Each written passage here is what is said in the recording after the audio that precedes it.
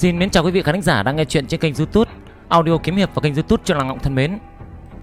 Mời quý vị và các bạn chúng ta cùng tiếp tục đến với tập 63 của bộ truyện tiên hiệp đặc sắc dài tập Độc Bộ Thiên Hạ Tác giả Thạch Trư Qua giọng đọc thể hiện Khánh Duy. Trước khi nghe chuyện các bạn hãy bất chút thời gian nhấp like, share và comment cảm xúc của mình sau khi nghe xong chuyện.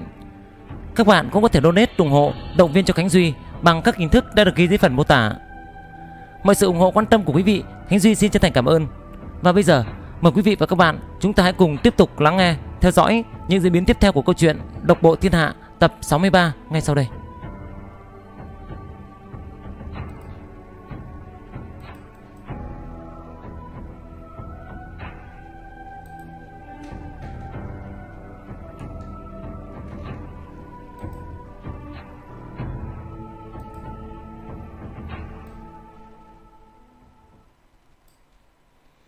Tiếp theo phần trước lại nói luyện hóa chín đầu hỏa giao long đã tu luyện tới nguyên đan kỳ.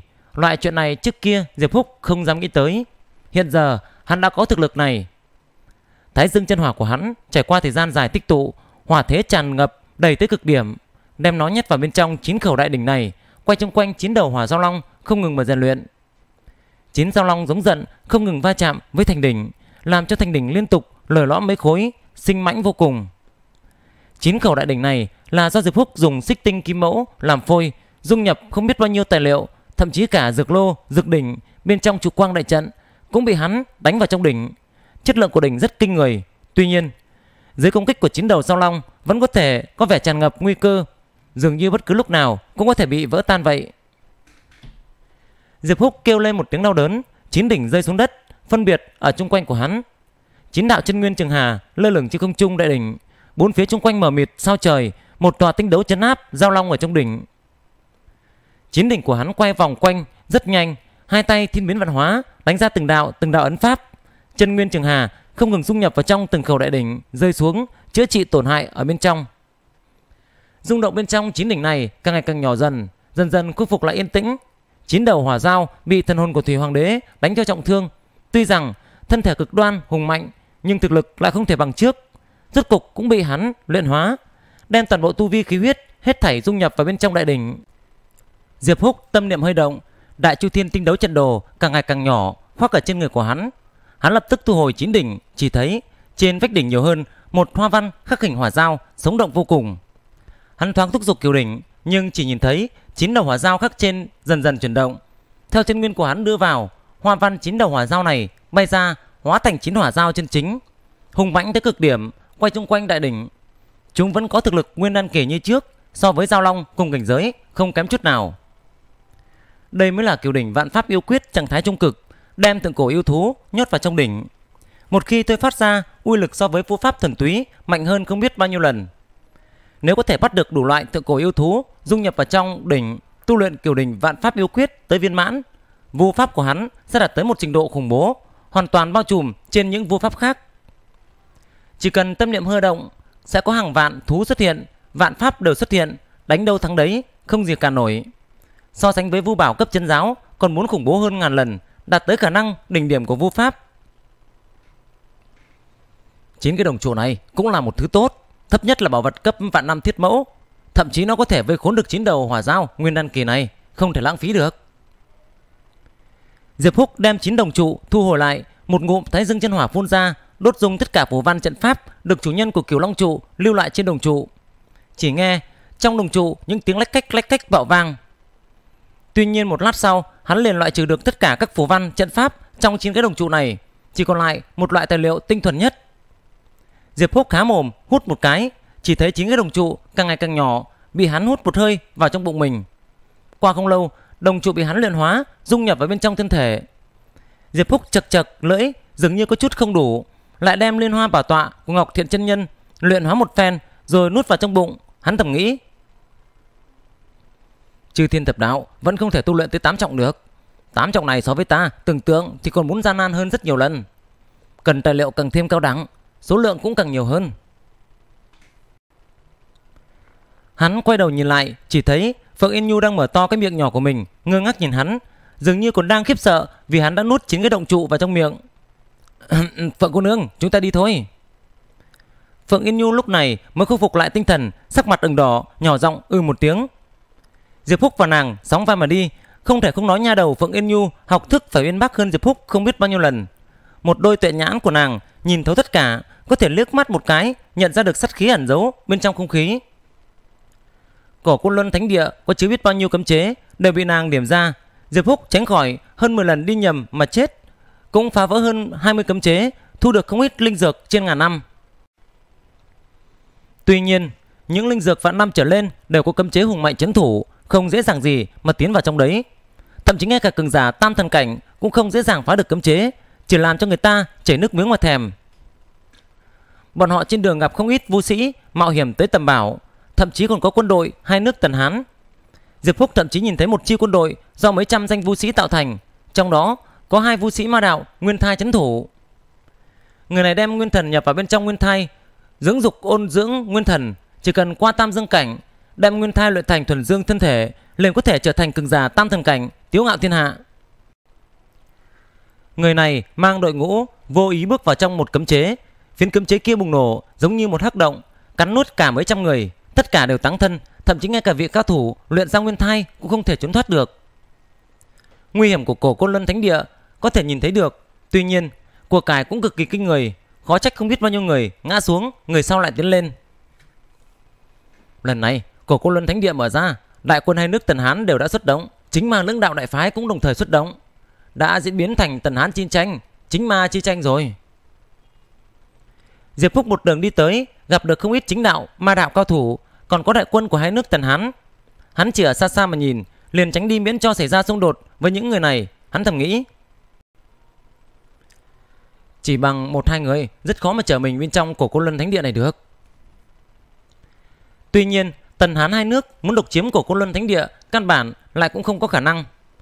Cổ cô luân thánh địa rộng lớn mấy vạn dặm, cho dù là toàn bộ đại quân Tần Hán dũng mạnh tiến vào đây cũng như mũi bò bể, nhỏ bé đến không đáng kể. Đột nhiên, cái đuôi khổng tước màu xanh trong tay áo của Phượng Yên Nhu thoát ly khỏi ở khống chế của nàng, xẹt một tiếng bay lên, hóa thành một đạo thanh quang biến mất trong núi rừng. Nhị tỷ triệu hồi Tiểu Thanh khẳng định là gặp phải nguy hiểm rồi. Khuôn mặt xinh đẹp của nàng khẽ biến, lộ ra thần sắc lo lắng. Diệp Phúc lúc này tế khởi thiên cơ tán, hóa thành một con thuyền con, giơ tay bao quát, đem cả Phượng Yên Nhu kéo vào trong lồng ngực của mình, rít cào, phóng tới trước, đi theo sau thanh quang kia. Chỉ thấy thanh quang kia qua lại không ngớt trong núi rừng, tốc độ cũng cực nhanh. Sư huynh, đừng như vậy. Phượng Yên Nhu dãy ra khỏi lồng ngực của hắn, khuôn mặt ửng đỏ mà nói. Diệp Phúc buông tay ra cười. Phượng cô nương, thắt lưng của nàng thật mềm mại. Ừ, thắt lưng của nhị tỷ cũng rất mềm. Ta đã sợ qua, mềm như không có xương cốt vậy. Phượng Yên Nhu cười nói, thần thái lại có chút lo âu. Không biết nhị tỷ gặp phải nguy hiểm gì, không ngờ phải triệu hồi đến Tiểu Thanh. Thanh quang đột nhiên ra tốc, bỏ rơi bọn họ, xoẹt một tiếng, xuyên thấu qua một toàn núi lớn, biến mất không thấy tăm hơi. Trong những đám núi của cổ côn luân thánh địa tràn đầy cấm chế, cái đuôi khổng tước này không ngờ đâm thủng cấm chế bên trong núi, uy lực mạnh có thể thấy. Diệp Phúc vội vàng dừng lại, lơ lửng trước sân động mà thanh quang mở ra, không có đuổi theo, hắn nhíu mày nói: "Phượng cô nương, nhị tỷ của nàng có thể luyện chế thành công ngũ hành diệt tuyệt thần quang, tu vi đã vượt xa người và ta rồi, cho dù chúng ta có đuổi theo, chỉ sợ cũng không đủ năng lực mà giúp nàng đâu." Phượng Yên Nhu khuôn mặt u sầu không giảm, yên lặng gật đầu, biết lời nói của hắn là đúng, liền thở dài. Hy vọng nhị tỷ cắt nhân thiên tướng. ầm vang một tiếng, bỗng nhiên lôi điện nổ lên cách đó không xa. Diệp Phúc vội vàng ngẩng đầu nhìn lại, chỉ thấy bên ngoài khoảng cách này ba bốn dặm dâng lên một mảnh kiếp vân. Lôi điện như mưa hạ xuống, chút xuống trong lòng núi rừng. Cao thủ vạn kiếp môn, ảo đan kỳ lôi kiếp sao? Diệp Phúc trong lòng vừa động, lúc này tới khởi thuyền con, cùng Phượng Yên Nhu hướng tới vị trí lôi kiếp đánh xuống. Lộ trình ba dặm chỉ trong nháy mắt là tới. Hắn nhìn xuống phía dưới, chỉ thấy người độ kiếp này quả nhiên là người quen. Tống Cao Đức lúc này đã tu luyện tới ảo đan kỳ, đang độ lôi kiếp ảo đan kỳ, câu động thiên lôi, thiên lôi cuồn cuộn hạ xuống, bổ làm cho hắn cháy đen cả người, sói chu không. Bên ngoài lôi kiếp còn có hai vũ sĩ, xem chừng hắn độ lôi kiếp, hẳn là đồng bạn của hắn, nhưng không có ý giúp hắn độ lôi kiếp. Diệp Phúc không có lập tức hiện thân mà tiếp tục canh chừng, rất nhanh hắn phát hiện ra chỗ dị thường, chỉ thấy Tống Cao Đức vừa độ kiếp vừa đi tới phía trước, kiếp vân vững vàng trên đỉnh đầu của hắn, không rời một chút nào, bổ hắn tới cháy xém toàn thân.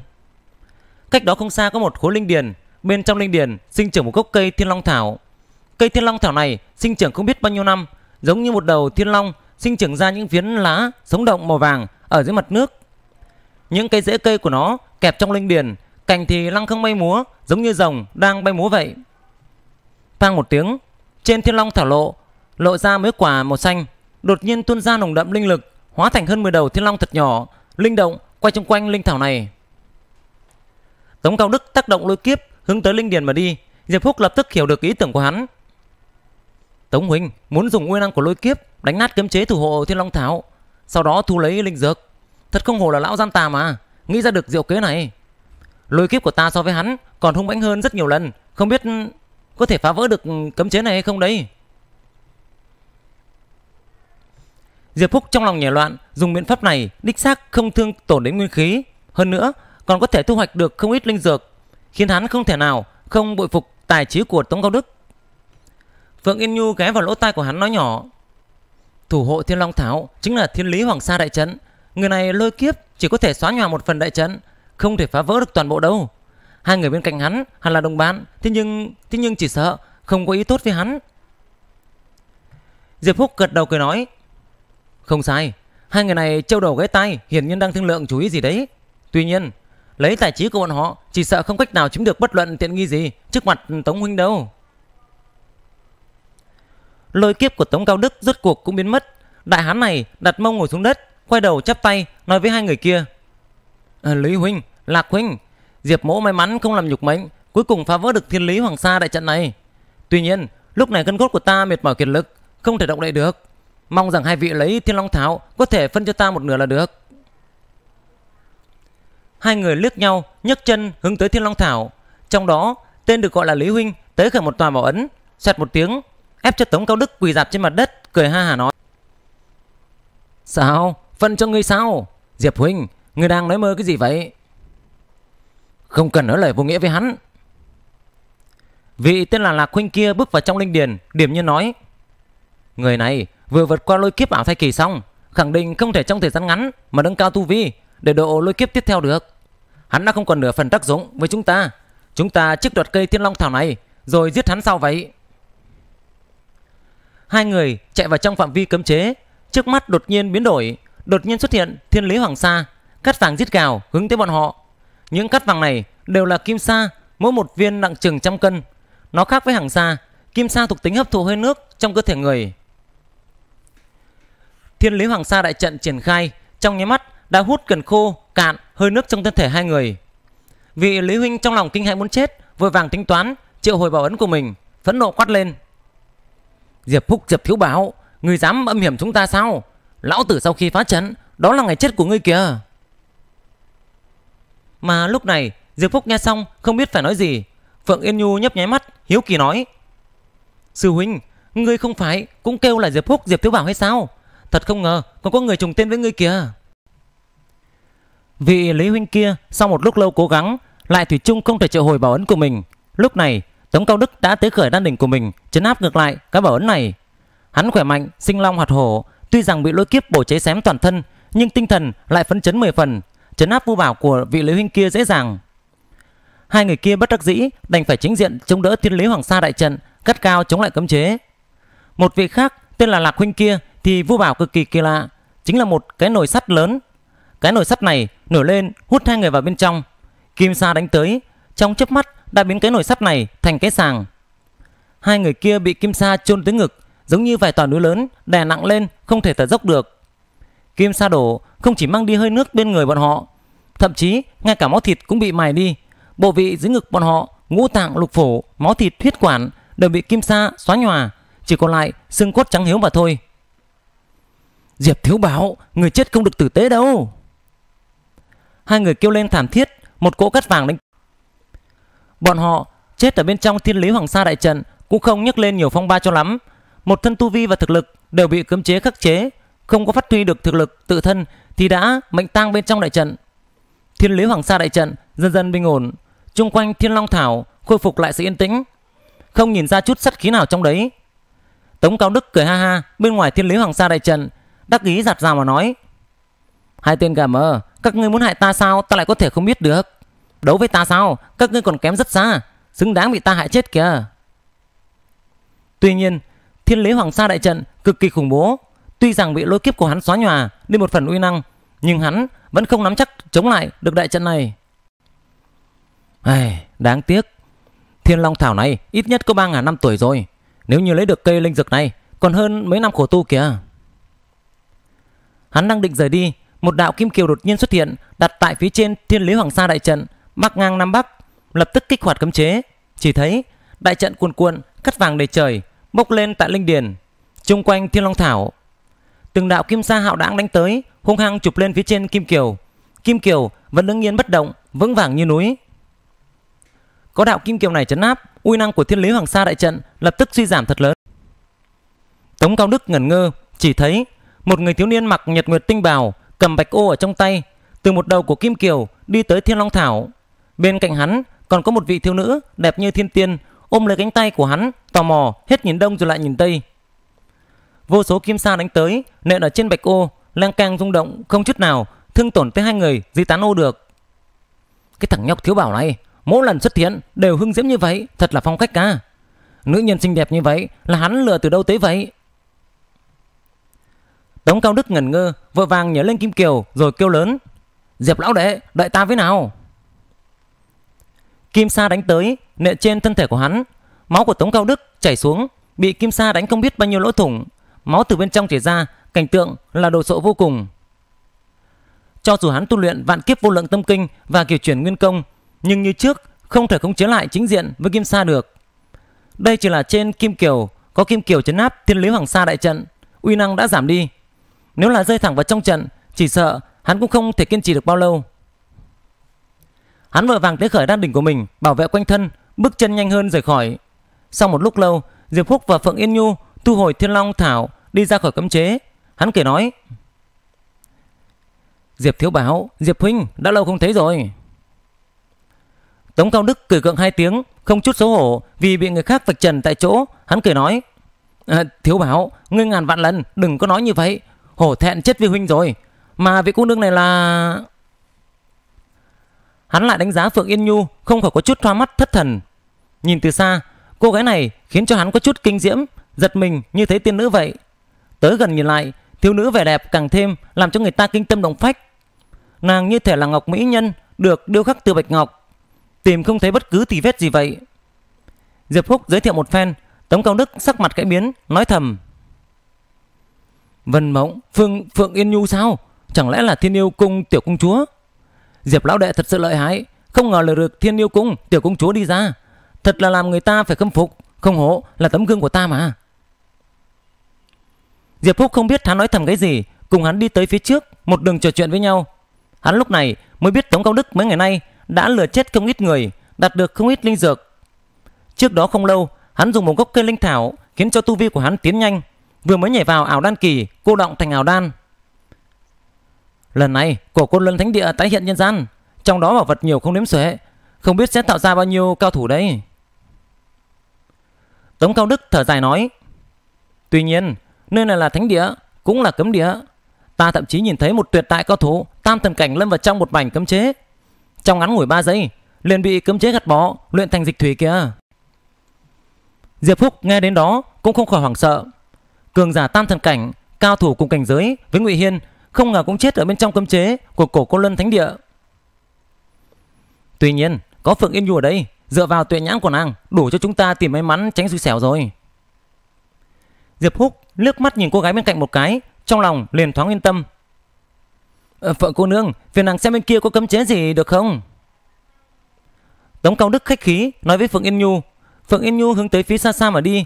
Tống Cao Đức thấy nàng đi xa, vội vàng kéo lấy tay của Diệp Húc, nhỏ giọng mà nói: "Lão đệ à, ngươi điên rồi, ngay cả Thiên Yêu cung tiểu công chúa cũng dám lừa tới đây. Thừa dịp không ai biết, tốt nhất nhanh chóng tách nàng ra, nếu không chính ma yêu ba đạo, cao thủ đều đuổi tới giết ngươi kìa." Diệp Phúc cười nói. Cái gì mà thiên yêu cung tiểu công chúa chứ? Tống Huynh Phượng Yên Nhu rõ ràng là một nữ tử yêu tộc bình thường mà thôi. Sao? Nữ tử yêu tộc bình thường ư?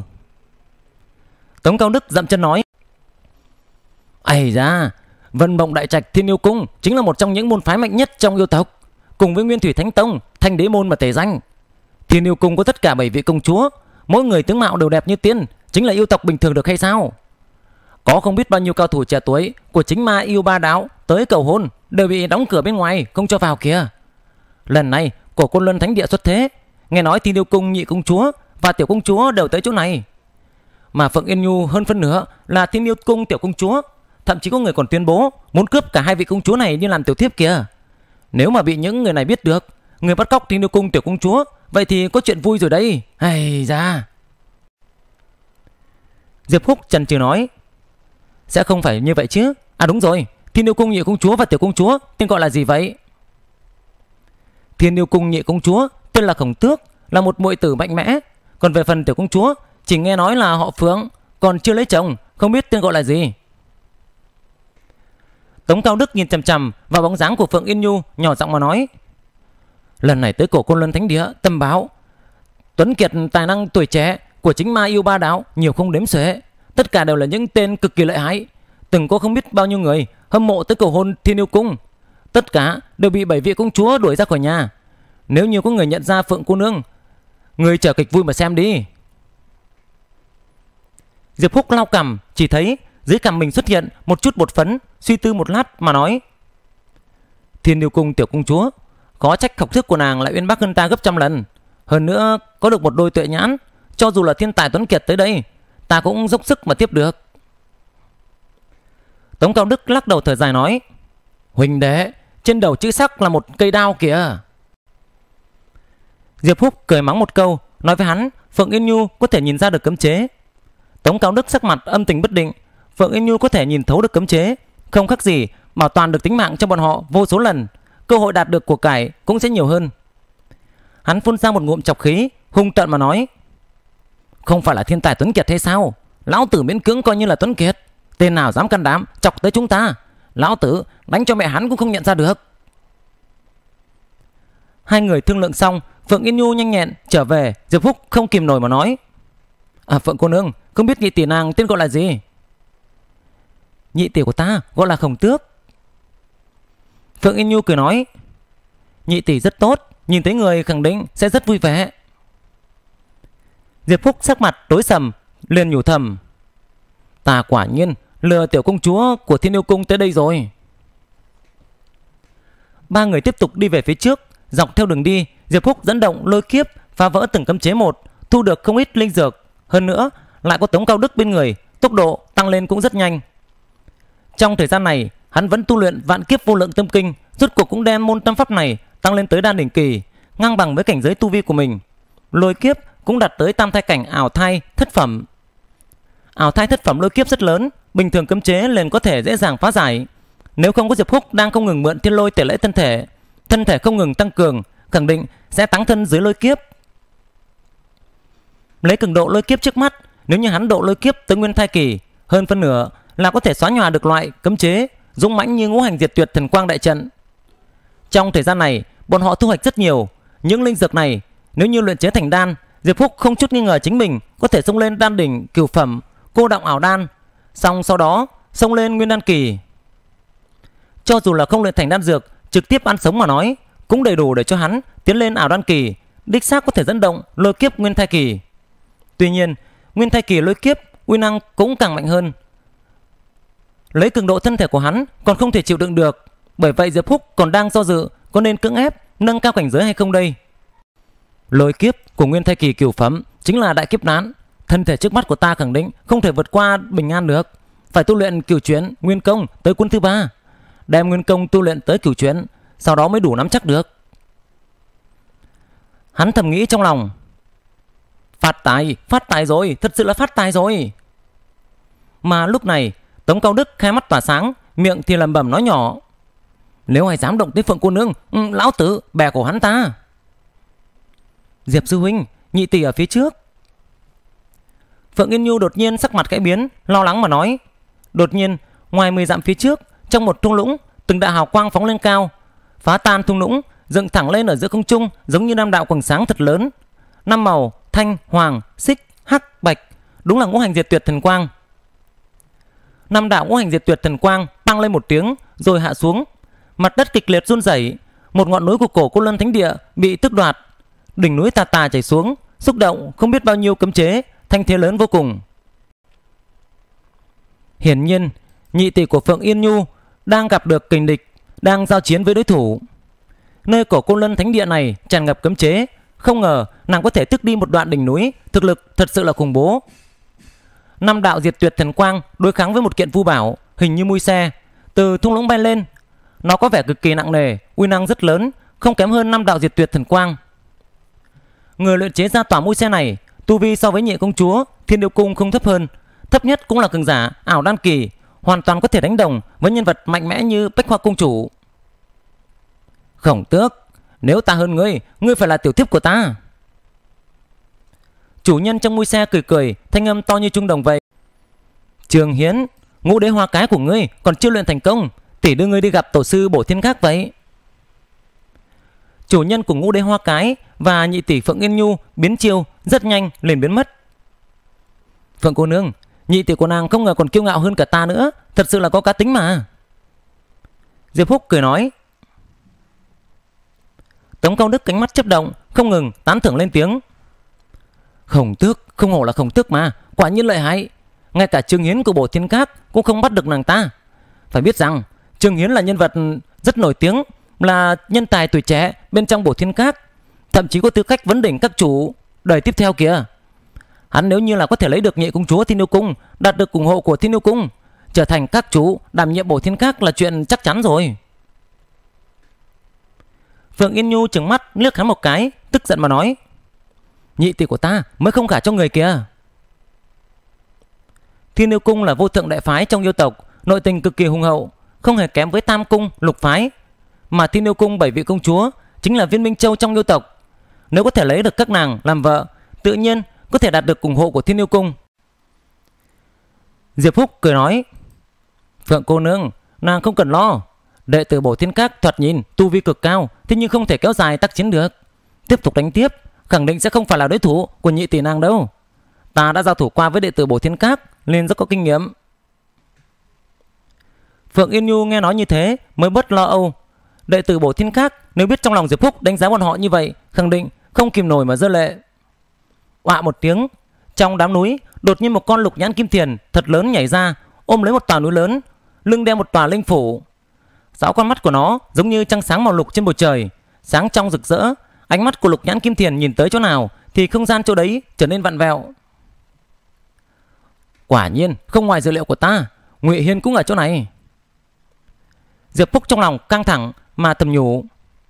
Lục nhãn kim thiền quét mắt nhìn khắp nơi Đột nhiên hướng tới Diệp Phúc Miệng mở lớn phát ra thanh âm ù ù. Diệp sứ đệ Người cũng tới đây sao? Thật sự là quá tốt mà. Vì Huỳnh hiện giờ sẽ tống tiễn ngươi một đoạn đường Lục nhãn kim thiền dùng sức nhảy lên Dán lên đám núi Nhảy qua bên này nó nhảy một bước có chừng hơn 10 dặm, tránh đi cấm chế thật mạnh trên không trung mà đuổi theo Diệp húc Những cấm chế cấp thấp thì trực tiếp đụng qua, đánh tan cả cấm chế. Hung nguy của Lục Nhãn Kim Thiền bắn ra từ phía. Ánh mắt tập trung vào Diệp húc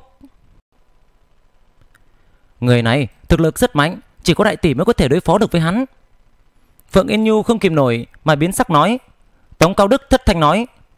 Lão đệ, chúng ta mới tách ra không bao lâu, Người đã đắc tội với cường giá Tam thần cảnh rồi sao Diệp Húc không nói một lời Tế khởi thiên cơ tán Hóa thành thuyền con Nắm hai người lên trên thuyền Giết cào Phóng về phía trước trầm giọng nói Phượng cô nương Nàng tới chỉ điểm chúng ta tránh đi cấm chế Tống huynh Người trợ giúp ta một tay Thúc giục con thuyền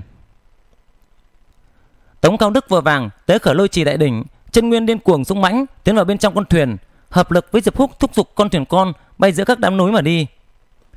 Phượng Yên Nhu trong mắt hào quang lưu chuyển, hướng tới bốn phía mà nhìn, không ngừng mở miệng chỉ điểm cho bọn họ tránh đi cấm chế.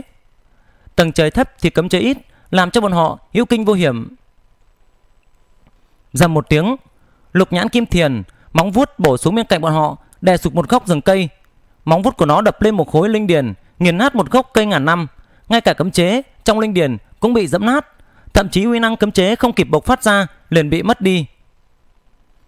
Nguyên thần của cường giả tam thần cánh thật sự là rất hung hãn.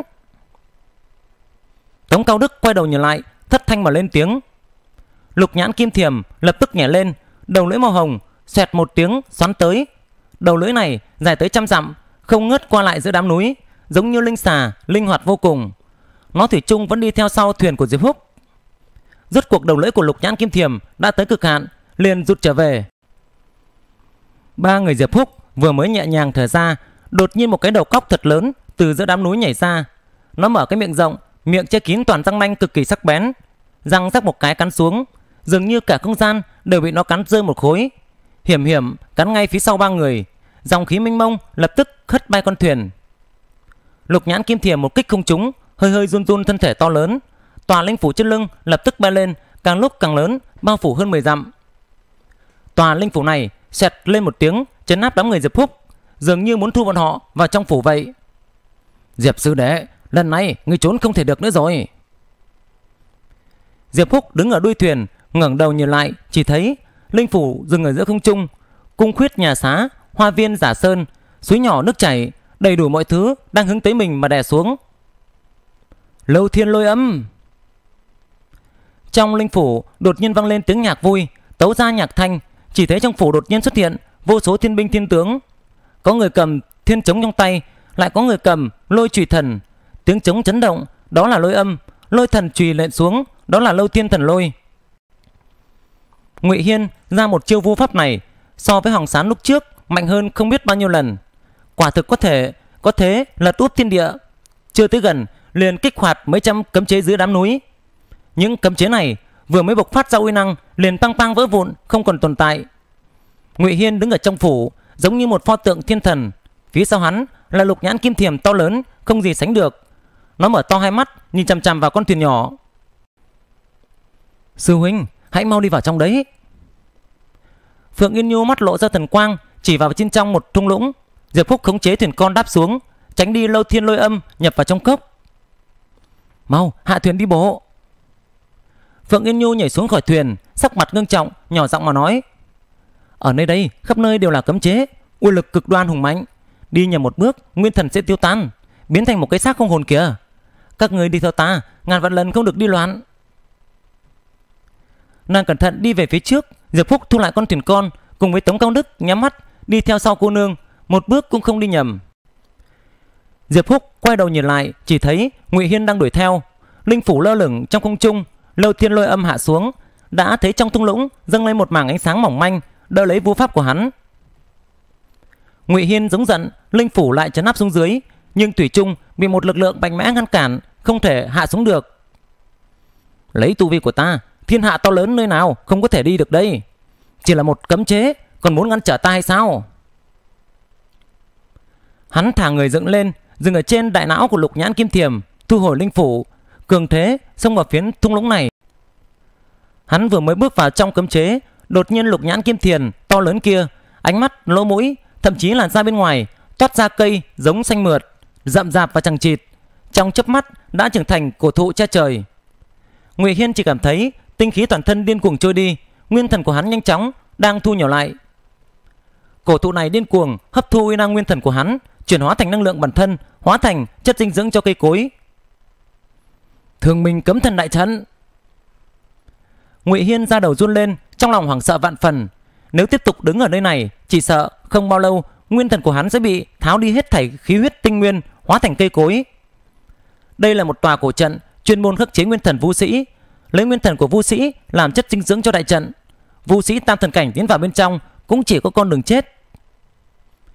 Hắn vội vàng lùi về phía sau, kêu lên một tiếng đau đớn, quanh thân liệt hỏa trào ra, đem nguyên thần nung khô một lần, trừ khử đi cây cối cắm rễ trên nguyên thần.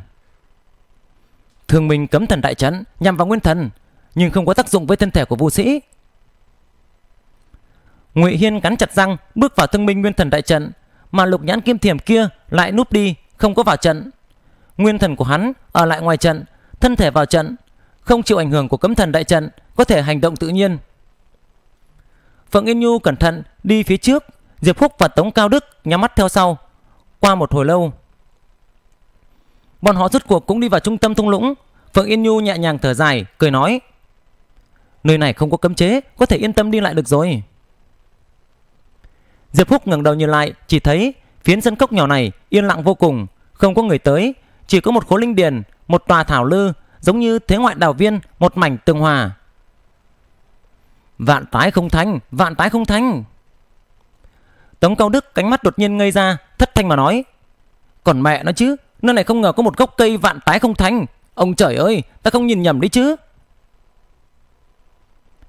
Diệp Phúc vội vàng nhìn lại, chỉ thấy cách đó không xa, một cây ngọc thụ sinh trưởng bên trong một khối linh điền, dường như được ngọc bích điêu khắc mà thành vậy. Thậm chí ngay cả cành lá cũng là thúy ngọc. Cây quái thụ này lẻ loi đứng tại chỗ, chiều cao hơn trượng. Tuy rằng nhìn như ngọc bích điêu khắc mà thành, nhưng kỳ thực cũng là một gốc cây linh dược cực kỳ hiếm lạ, tên là vạn tái không thanh. Bẻ gãy cành trạc của nó, liền có quỳnh tương chảy ra, đó là linh đan thiên nhiên. Đây là một gốc cây hiếm có, có một không hai. Diệp Phúc từng nghe nói qua loại linh dược này, nghe nói linh dược này một vạn năm mới có thể sinh trưởng được một tấc, ngưng tụ ra một giọt linh dược. Một giọt linh dược liền tương đương với linh khí của một linh mạch bậc ba. Gốc vạn tái không thanh này đã cao hơn một trượng, hiển nhiên sinh trưởng không biết bao nhiêu năm rồi. Trong đó dưỡng dục không biết bao nhiêu giọt vạn tái không thanh, thật sự là vô thượng linh dược. Ba người tim đập thình thịch, cho dù là Phượng Yên Nhu cũng không khỏi kích động. Một gốc cây ngọc thụ lớn như vậy, tuyệt đối có thể thả ra một chén lớn vạn tái không thanh. Nó sẽ khiến cho thực lực của bọn họ nâng cao phi thường, thậm chí đủ cho cả ba người bọn họ trở thành cường giả tam thần cảnh. Đây mới là của cải lớn nhất mà chúng ta đạt được. Tống Cao Đức run giọng nói. Sai lầm, sai lầm. Đây không phải là cuộc cải của các ngươi, mà là thu hoạch lớn nhất của ta kìa.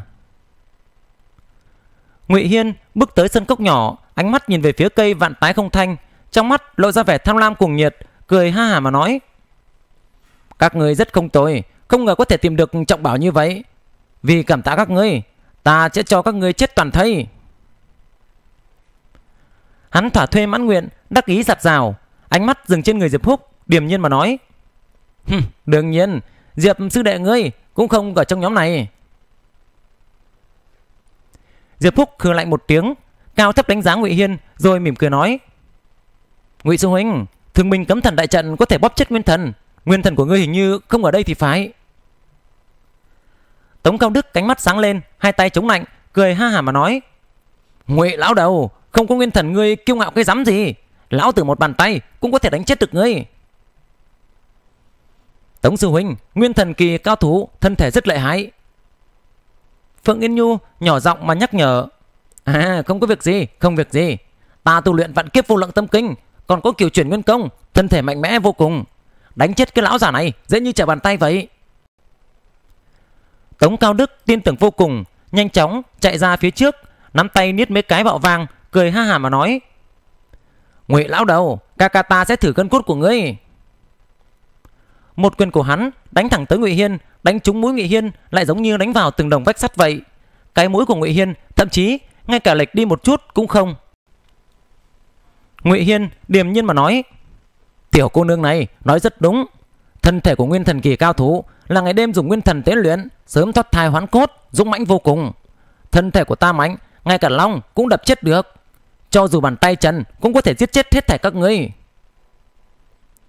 Tóc của hắn tung bay, từng cái như đao, cười to mà nói: Thậm chí ta căn bản không cần ra tay Một sợi tóc thôi cũng có thể chém giết các ngươi kìa. Xoẹt xoẹt. Một sợi tóc trên đầu của hắn bay ra Cắt thẳng tới Tống Cao Đức. Sợi tóc của hắn nặng như núi Tuy chỉ là một cây tóc Nhưng Tống Cao Đức không hề nghi ngờ rằng Nếu mình bị sợi tóc này đánh trúng Vạn kiếp vô lượng tâm kinh và kiểu chuyển nguyên công Đều không thể ngăn được, Chắc chắn sẽ bị chém thành hai mảnh. Đinh một tiếng, Một ngón tay đột nhiên xuất hiện, Ngăn cản sợi tóc kia lại. Chỉ thấy Sợi tóc kia đột nhiên nổ tung một cái. Diệp Phúc chắn trước người Tống Cao Đức, Mỉm cười nói, Ngụy sư huynh, thật khéo à. Từng có người nói qua thân thể của ta Cũng mạnh, hoàn toàn có thể sánh ngang với thân thể của cao thủ Nguyên thần kỳ. Không bằng chúng ta đến sau một hồi đi. Ngụy Hiên trong mắt sát khí Bắn ra bốn phía, Lắc lắc đầu nói Diệp sư đệ Người không phải là đối thủ của ta Oanh một tiếng Diệp Phúc tiến lên một bước Nắm đấm dừng ở trước mũi của lão Ngụy Hiên lập tức bay ngược ra, dừng lại ở giữa ngoài hơn 100 thước. Một quyền của Diệp Phúc đánh cho mũi của lão giống như một cái bánh xẹp lép vậy. Xương mũi gần như bị một quyền này đánh cho nát bấy. Ngụy sư huynh, không có nguyên thần, ngươi còn kiêu ngạo cái dám gì nữa đây? Diệp Phúc thu nắm đấm lại, mỉm cười mà nói: Muốn chết sao? Ngụy Hiên nổi giận, Ngọc lâu trên đỉnh đầu đột nhiên bay ra, Linh phủ hạ xuống. Hai tay của lão bắt lấy linh phủ. Lấy phủ đệ này làm vũ khí, Chụp tới Diệp Húc. Đây là lần đầu tiên lão ta chịu nhục nhã lớn đến như thế. Lửa giận ngập trời, Vừa ra tay liền dùng đến vũ bảo mạnh nhất của mình. Kiện vũ bảo này tuy không có nguyên thần chống đỡ, Nhưng vẫn là bảo vật mà cao thủ tam thần cảnh luyện chế. Chỉ bằng trọng lượng của nó thôi Cũng có thể để chết cao thủ nguyên đan kỳ. Linh phủ ước chừng, to tầm 50 thước vuông, Vô cùng nặng. Chỉ thấy hai tay của lão nắm lấy cạnh của linh phủ, hung hăng hạ xuống, dường như muốn chụp chết diệp húc, như chụp chết một con ruồi bọ vậy. Thực là khéo à ta cũng có trọng bảo mà cưng giá, tam thần cảnh luyện chế đấy diệp húc cười ha ha, lấy kim kiều ra, hai tay ôm kim kiều, hung hăng đón nhận. Chỉ nghe một tiếng ngầm vang, chấn làm cho tống công đức và phượng yên nhu, khí huyết di động, sắc mặt tái nhợt hai người vội vàng lui ra xa tránh cho ở quá gần sẽ bị sóng âm công kích Diệp Húc đau đớn kêu lên một tiếng, huyệt khiếu quanh thân phát ra những tiếng vang hoành hoành, từng mặt tinh phiên bị chấn thoát khỏi thân thể, bay múa xung quanh thân. Ngụy Hiên cũng đau đớn, thét lên một tiếng, sắc mặt cực kỳ khó coi, cũng bị cự lực của đối phương chấn đến thân thể, khiến thân thể bị vài vết thương nhẹ. Hai người bọn họ, một là cường giả đã luyện thành nguyên thần, ngày đêm dùng nguyên thần rèn luyện thân thể, thay da đổi thịt, một là tu luyện cửu chuyển nguyên công từ nhỏ, kiêm tu vạn kiếp vô lượng tâm kinh và chu thiên thập đạo thân thể giống như một con rồng hoang dã, lực lượng có thể san bằng núi lớn, có thể nói là sức mạnh to lớn vô cùng. Nhưng Chu Thiên Tinh Phiên trong cơ thể Diệp Phúc bị lực lượng của đối phương chấn xuất cơ thể, từ điểm đó mà nói, lực lượng thân thể hắn vẫn kém hơn Ngụy Hiên một chút. Thật là sảng khoái. Diệp Phúc cười to, Tinh Phiên lại dầm một tiếng, dung nhập vào trong cơ thể. Hắn bước đến, giơ kim kiều nện xuống, hung hăng nói: "Ngụy sư huynh, Ngươi đuổi giết ta cũng một đoạn thời gian rồi Hiện giờ đến lúc ta trả thù rồi. Ầm một tiếng Kim Kiều và Linh Phủ lại đụng vào nhau. Ngụy Hiên lùi ra sau một bước Khóe miệng tràn máu tươi. Khóe miệng Diệp Phúc cũng tràn ra tơ máu. Chu Thiên Tinh Phiên lại thoát khiếu mà ra Bay múa xung quanh thân thể của hắn. Mà hắn lại như một con hổ điên Không hề để ý tới thương thế của mình. Bước nhanh tới Vung Kim Kiều quét hướng Ngụy Hiên Hoàn toàn không để tâm tới thương thế của mình. Cường giả tam thần cánh, thì đã sao chứ? Đã không có nguyên thần rồi. Ngươi chỉ có thể bị ta để ra mà đánh mà thôi. Diệp phúc quát lớn, Tinh phiên dung nhập thân thể, phảng phất như thiên thần, Kim Kiều áp xuống, Bức trong người Hiên không thể cạnh kháng với hắn. Thân thể hai người đều là dạng mạnh mẽ tới cực điểm, Thậm chí có thể làm cho dị thú đã tu luyện ra nguyên đan Phải xấu hổ. Lực lượng của bọn họ đủ để xé rách núi lớn, Đánh chết giao long. Ầm ầm ầm ầm. Hai kiện trọng bảo không ngừng nện vào nhau linh phủ của ngụy hiên giờ phút này đã rách tung tóe, mà kim kiều trong tay diệp phúc cũng lồi lõm sứt mẻ đến không chịu nổi. Mà hai kiện trọng bảo này đều là trọng bảo của cường giả tam thần cảnh mới có thể luyện thành. Hiện tại lại bị hai người bọn họ kệ mạnh đánh cho hỏng đi, có thể thấy được lực lượng của hai người là mạnh mẽ biết bao nhiêu. Diệp sư đệ, ngươi thật sự làm ta thấy kinh ngạc. Thật không ngờ có thể luyện thân thể đến loại trình độ này. Kim kiều của ngươi không ngờ chất lượng còn tốt hơn linh phủ của ta. Xem ra, người đã có kỳ ngộ. Ngụy Hiên cười ha hả lao đi vết máu nơi khóe miệng, ngạo nghễ nói, chẳng qua, ngươi chưa phải là đối thủ của ta mà thôi. Thiên ma chân thân. Thân hình của lão ta bành trướng, cơ thể dữ tợn, xoẹt một tiếng, quần áo rách ra, toàn thân đen tuyền như sắt, thân hình như sắt thép đúc nên, tràn đầy sức mạnh, nhấc linh phủ, liền chụp hướng diệp húc. Lực lượng so với hồi nãy còn mạnh mẽ hơn.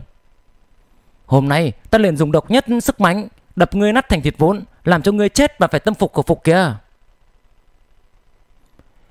Lão giống như một thiên ma Toàn thân tràn đầy sắt khí thô bạo. Kiểu đình nhập khiếu Vạn pháp yếu quyết. Trên đỉnh đầu của Diệp Húc Hiện ra chín khẩu đại đỉnh Vù vù dung nhập vào trong thân. Lấy lực lượng của kiều đỉnh Và chín dòng sông chân nguyên Thúc giục bản thân Lập tức từ trong thân mình Vô số móng vuốt của vô số con dị thú thực cổ thò ra Đều nắm lấy kim kiều nện thật mạnh xuống Ngụy Hiên. Diệp Phúc cười lạnh nói: "Ngụy sư huynh, ta đã nói rồi, đã không có nguyên thần, ngươi kiêu ngạo cái dám gì?" Ầm một tiếng, Ngụy Hiên bị một kích của hắn đập cho hai chân lọt vào nền đất. Thiên ma chân thân ầm ầm vỡ nát, thân thể và linh phủ đều bị cự lực chấn cho rách tung tóe, không nhịn được nôn ra một ngụm máu tươi. Diệp Phúc nắm lấy kim kiều rồi lại nện xuống, đưa lão ta giống như một cái đinh đóng nhập vào trong nham thạch, rầm rầm rầm. Hắn liên tục đập mấy cái linh phủ đều bị hắn đập cho vỡ vụn, rơi tán loạn trên mặt đất. Ngụy sư huynh, Trong khe núi này ta muốn hành ngươi như thế nào Thì có thể hành ngươi như vậy? Ngươi chết đi cho ta. Diệp Phúc vung kim kiều lên Lại ném tới Ngụy Hiên. Sức mạnh một kích này của hắn so với hồi nãy còn mạnh hơn. Chỉ thấy vô số con dị thú thượng cổ Từ trong cơ thể hắn chui ra Thậm chí chính con hỏa giao long Cũng lao ra khỏi huyệt khiếu Bắt lấy kim kiều giúp hắn tăng lực lượng lên. Diệp thiếu bảo Ngươi, ngươi chọc giận ta Ngụy Hiên giống giận, đột nhiên một luồng hào quang trắng từ trong ngọc lâu của lão chưa kích bắn ra, xẹt một tiếng đảo qua kim kiều. Tòa kim kiều này liều mạng đánh với linh phủ đều không bị đánh nát, nhưng luồng linh quang này đảo qua liền chia thành hai nửa, đinh một tiếng rơi xuống mặt đất. Ngươi còn nhớ rõ kim tinh khí này không? Ngụy Hiên nhảy dựng lên, thở hổn hển hai khẩu khí thô, phun huyết đàm ở trong miệng ra. Hắn giơ tay bắt lấy kim tinh khí, luồng kim tinh khí này sau khi bị lão tế luyện đã không thể làm thương tổn đến thân thể của lão nữa. Lão cười lạnh nói: "Luồng kim tinh khí này là ta lấy từ tay ngươi, ngươi chắc là không ngờ đúng không? Hiện giờ ngươi lại sẽ chết ở bởi chính bảo vật của mình kìa." Kim tinh khí đừng nói là thân thể, cho dù là nguyên thần cũng có thể chém giết được. Hôm nay ta liền dùng bảo vật của ngươi chém nát ngươi vậy. Lão ta bước nhanh hướng Diệp Húc chỉ thấy kim tinh khí ở trong tay của lão ta thay đổi khôn lường, xoẹt xoẹt mà cắt, dường như có thể cắt nát cả hư không vậy. Ta sẽ từng chút, từng chút một cắt vỡ ngươi, cho ngươi muốn sống không được, muốn chết không xong. Lão cười to, Diệp Phúc khuôn mặt mang vẻ thương hại, nhìn lão ta từng bước đi hướng đến bản thân mình, thản nhiên mà nói: "Ngụy sư huynh, nguyên thần của ngươi bị nhốt ở bên ngoài, ngay cả kim tinh khí cũng không thể tế lên được, cần gì tự tìm đường chết như vậy?" Kim tinh khí của ngươi phạm vi công kích quá ngắn, mà âm dương nhị khí của ta vừa dài vừa to, lại có thể công kích hơn 10 trượng kìa. Giết người ngoài 10 dám. Bên trong đôi mắt của hắn, hai dòng linh khí một đen một trắng chậm rãi xuất hiện, giống như hai con linh xà. Diệp Phúc mỉm cười nói. Diệp Phúc mỉm cười nói. Tuy rằng âm dương nhị khí không sắc bén bằng kim tinh khí, thế nhưng chém giết thân thể một cao thủ nguyên thần kỳ như ngươi, như thế là đủ rồi. Ngụy Hiên sắc mặt kịch biến, xoay người liền trốn, phóng đi ra ngoài khe nhỏ này, cuối cùng bất chấp chuyện chém giết Diệp Phúc, cũng bất chấp thu đi gốc không thanh và năm kia. Hiện giờ lão chỉ có một nguyện vọng, đó chính là trốn, trốn được xa bao nhiêu liền trốn bấy nhiêu, trốn nhanh được bao nhiêu liền trốn đi bấy nhiêu. Vù. Lão chưa vào trong Thương Minh Cấm Thần đại trận, cấp tốc phi nhanh về phía trước. Đột nhiên, hai dòng linh khí một đen một trắng chật lé qua cổ của lão. Cổ của Ngụy Hiên lập tức rời ra. Diệp Phúc nhẹ nhàng thở ra, đang định thu hồi âm dương nhiệt khí, đã thấy thân thể không đầu của Ngụy Hiên ôm đầu lao ra bên ngoài, trông thật quỷ dị. Sao? Như thế mà cũng không chết sao? Cường giả tam thần cánh thật là quá hùng mãnh. Âm dương nhị khí lại lướt qua, đã thấy thân thể không đầu của Ngụy Hiên đột nhiên nâng tay ra sức ném, ném đầu của mình ra ngoài đại trận. Bên ngoài thương minh cấm thần đại trận, con lục nhãn kim thiền kia vù một tiếng nhảy lên, há mồm nuốt đầu vào, lập tức tung người nhảy như bay, gào thét mà đi. Diệp sư đệ, Ngươi đoạn thân thể ta, hủy thân thể ta, thù này ta nhất định sẽ báo. Thanh âm của lão từ trong miệng lục nhãn kim thiềm truyền. Diệp Phúc cười to nói: "Ngụy sư huynh đi thông thả, nếu như tiểu đệ lại gặp được ngươi, liền sẽ đối với ngươi như với con ngươi vậy, gặp lần nào ta sẽ cắt lần đấy. Ngụy Không Sơn bị ta cắt đi tứ chi, mà ngươi ta chỉ cắt đi đầu. Hy vọng ngươi có thể dự trữ thêm mấy cái thân thể mới nữa." Oa một tiếng, Lục Nhãn Kim Thiềm giận dữ gào lên, một đầu đụng vỡ một ngọn núi lớn, biến mất không thấy đâu nữa. Hey, Ngụy Hiên cái kẻ này, đầu óc thì nhỏ nhen, nói không chừng sẽ bị ta làm cho tức chết mất thôi. Diệp Húc cười ha hả, âm dương nhị khí từ từ nhập vào trong mắt của hắn, khóe miệng lại có hai dòng máu đen chảy xuống. Tuy rằng trong khoảng thời gian này, thân thể của hắn tăng mạnh lên rất nhiều, nhưng dùng hai dòng linh khí này với hắn phụ tải vẫn rất lớn. Sư huynh, huynh không sao đấy chứ? Phượng Yên Nhu vội vàng bước lên đỡ lấy hắn, lo lắng mà hỏi. Diệp Phúc nhu nhu mắt, tầm nhìn dần dần rõ ràng, lắc lắc đầu nói: "À, ta không sao. À, Phượng cô nương, làm phiền cô thu thi thể của Ngụy Hiên lại. Còn có cả dòng kim tinh khí kia nữa. Lần này, lão tử tử này thiệt thòi lớn, chẳng những trả lại dòng kim tinh khí còn nguyên vẹn cho ta, còn đưa cả linh phủ của mình cho ta. Chắc là giờ lão ta đang sắt của lắm đây. À, à ta lại quên mất, lúc này lão đã không còn tim nữa rồi." Phượng Yên Nhu đang định đi vào thương minh cấm thần đại trận, Tống Cao Đức đã vội vàng cười nói: "Phượng cô nương, làm phiền cô mang thân thể của lão tiểu tử Ngụy Hiên tới, ta định dùng thân thể của lão ta luyện thành một kiện vu báo. Chà chà, tuy rằng lão tiểu tử không thể luyện chế Diệp lão đệ thành vu báo, nhưng thân thể của lão Ngụy Hiên này không hề thua kém Diệp lão đệ chút nào cả. Nếu như luyện thành bảo bối, đủ để cho ta dùng đến tam thần cảnh rồi. Vừa ra tay, liền có một khối thi thể không đầu, phong cách biết bao à. Hắn nhỏ giọng nói thầm, Phượng Yên Nhu lắc lắc đầu đi vào thương minh cấm thần đại trận thầm nghĩ. Tống sư huynh đây là cái sở thích kỳ quái gì vậy? Lại thích dùng thi thể không đầu làm vũ bảo ư? Nàng thu thân thể không đầu của Ngụy Hiên và dòng kim tinh khí kia. Tống Cao Đức vội vàng ôm thân thể không đầu kia vào trong ngực, liên tục nói cảm ơn. Diệp Phúc cũng thu kim tinh khí, thật sự là vui mừng. Ba người đồng thời nhìn về hướng gốc cây không thanh vạn nam kia. Không thanh vạn năm sinh trưởng trong linh điền trong khe núi nhỏ này, hiển nhiên là chủ nhân trồng gốc linh dược này cực kỳ quan trọng nó, cho nên mới bày ra thương minh cấm thần đại trận ở nơi này. Tất cả vũ sĩ đều bị trận pháp khắc chế, tùy tiện xâm nhập sẽ bị đại trận hủy đi nguyên thần, chết ở trong trận. Nếu không có Phượng Yên Nhu với học thức uyên bác, có được một đôi tuệ nhãn, có thể nhìn thấu cấm chế, mang theo Diệp Phúc và Tống Cao Đức tránh đi cấm chế, chỉ sợ bọn họ cũng không thể làm gì gốc không thanh vạn năm này. Cố xông vào trận cũng chỉ có thể nhận lấy kết cục hủy diệt nguyên thần mà thôi. Ngụy Hiên biết tác dụng của thương minh cấm thần đại trận, lại không biết cách để tránh đại trận, chỉ có thể khiến cho nguyên thần rời khỏi thân thể, bởi vậy mới bị Diệp Húc dẫm đạp. Đường đường là cường giả tam thân cảnh, cuối cùng không thể không bỏ lại Vũ Bảo, thân thể chỉ còn lại duy nhất một cái đầu, chạy trốn khỏi nơi đây, mất hết cả mặt mũi. Điều này với kẻ bảo thủ như Ngụy Hiên mà nói, tuyệt đối chính là một đả kích vô cùng nặng. Không thành vạn năm, đủ để ba chúng ta đều trở thành cường giả tam thật cảnh được. Phượng Yên Nhu lấy một bình ngọc ra, thật cẩn thận đi đến gốc không thanh vạn năm kia. Gốc ngọc thụ này sinh trưởng trong linh điền, xanh biếc trên bóng, cực kỳ tiên diễm. Hai vị sư huynh, mỗi một giọt không thanh vạn năm đều ẩn chứa dược lực vạn năm, tuyệt đối không được lãng phí, chi bằng dùng bình ngọc mà tiếp lấy. Nếu không rơi xuống bùn đất rồi, chúng ta muốn khóc cũng không kịp đâu. À, Phượng cô nương nói rất phải, rất phải. Tống Cao Đức thu thân thể không đầu của Ngụy Hiên vào trong ngọc lâu của mình, rồi trịnh trọng gật đầu, lấy ra một khối bảo ngọc to tầm cái đầu, tế luyện một phen, biến thành một cái chậu lớn, chu vi một thước hai, bị hắn ta dùng hai tay bưng đi đến hướng không thanh vạn năm. Diệp Phúc và Phượng Yên Nhu thấy thế, đứng tại chỗ, hồi lâu cũng không nói được lời nào. Tống huynh, người cũng quá ác rồi. Cho dù gốc không thanh vạn năm này có sống được triệu năm đi chăng nữa, trong đó cũng chỉ có trăm giọt mà thôi. Có cần dùng đến cái chậu lớn đến như vậy hay không đấy? Diệp Phúc thất thanh cười nói, Phượng Yên Nhu che miệng cười không ngừng. Tống Cao Đức cũng cảm thấy xấu hổ, lúng ta lúng túng nói, ừ, lo trước khỏi họa mà, lo trước khỏi họa. Nhưng hắn nghe Diệp Phúc nói thế, cũng thu cái ngọc bồn đi. Hắn cười nói, chúng ta nhìn xem, ờ, gốc công thanh vạn năm này rốt cuộc có bao nhiêu giọt linh dược đấy.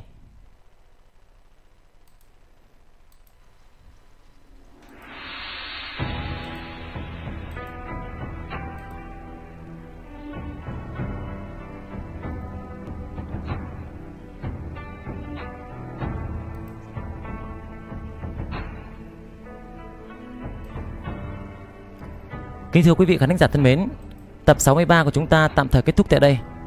Chúc quý vị nghe chuyện vui vẻ. Xin chào và hẹn gặp lại.